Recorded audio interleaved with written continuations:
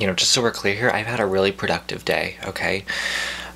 The this beanie on my head is not to hide the unshowered hair and um you know, I'm not gonna lie, it's a good thing that a video parallel does not have any sensories to extract the the the possible odor coming from my mouth.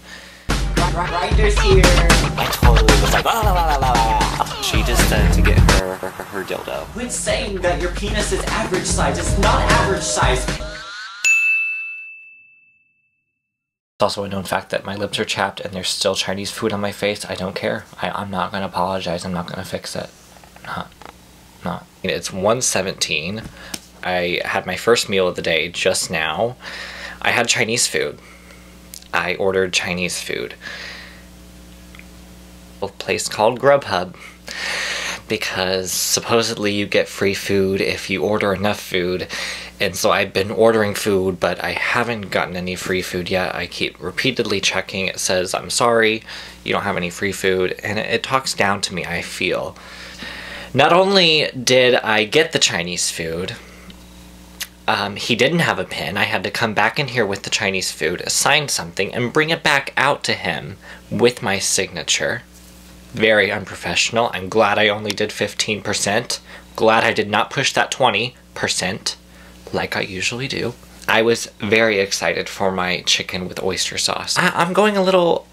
Uh, getting a little cabin fever. A plus express.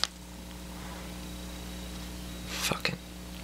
Sorry, I thought they spelled my name in Chinese. I was gonna be a little excited for that. Didn't have to pay for that.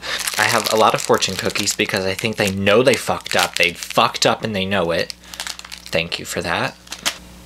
And I'm pissed. And let's not just shove it under the rug. I'm pissed and I, I can you see my eyebrow how it raises? That's a pissed off eyebrow. This eyebrow doesn't raise unless it's pissed off. Pissed. Uh, whoa. Didn't even control that. So pissed off. Oh, there it goes again. Swear to you. That's a pissed off eyebrow. I get this big brown sack. You know, what is this? What is it? Kindergarten? Is this my mother? Is there going to be a napkin with a note on? They have it all taped up sideways. I don't know how to handle it. I don't know how to carry it. I don't know what's in it. Could be a fucking cat. To hold it like a fucking sack or to hold it like a sideways sack. What's a sideways sack? This is not traditional for oyster chicken.